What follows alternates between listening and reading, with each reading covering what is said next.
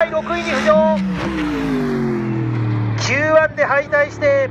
13位からのスタートでした。アントレア・カルダレリがなんとレースの序盤で6位まで上がってきました。36号車の今ペトロナス・トムスが傷ついた車を騙しなが騙しし走っていますがあしかしながら37号車の方は好調絶好調で順位を上げてきます。さあそしてマシントラブルになってしまいました。17号車なんですが4つとカレンジと強いとりましては抜いた矢先のトラブルは本当に涙涙の今ピントインですよね。